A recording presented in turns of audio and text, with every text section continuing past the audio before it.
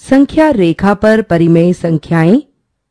जैसा कि हम जानते हैं कि संख्या रेखा पर पूर्णांक संख्याओं को अंकित करते समय क्रमशः आने वाले पूर्णांकों को समान अंतराल पर अंकित किया जाता है। शून्य से दो तथा ऋण दो समान दूरी पर है। इसी प्रकार परिमेय संख्याएँ एक बटा दो तथा ऋण एक बटा दो भी शून्य से समान दूरी पर होती हैं। अब हम परिमेय संख्या एक बटा दो को अंकित करते हैं। यह शून्य तथा एक के ठीक बीच में होगी। अतः ऋण एक बटा दो भी शून्य तथा ऋण एक के ठीक बीच में होगी। इसी प्रकार एक तथा ऋण एक भी शून्य से समान दूरी पर होंगे। अतः एक बटा दो तथा ऋण एक बटा दो किसी संख्या रेखा पर दो परिमेय संख्याएँ हैं।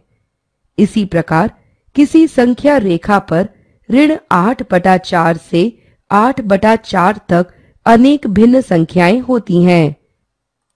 अब ऋण आठ बटा चार बराबर ऋण दो और ऋण चार बटा चार बराबर ऋण एक तथा चार बटा चार बराबर एक, आठ बटा चार बराबर दो हो जाता है।